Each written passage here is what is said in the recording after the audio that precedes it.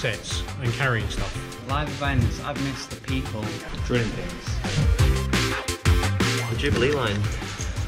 Lunchtime. Oh, untangling cables. Crew catering. Messing about with wood, learning new skills with wood. Being in a venue out and about in London, that's all a big part of the job for me. Actual venues. The exercise. Job satisfaction, I think, more than anything for me, personally. How have you found like physically rigging things? Oh, great. It's been great actually not physically sitting at a, a laptop. How's it compared to the digital stage? Much heavier.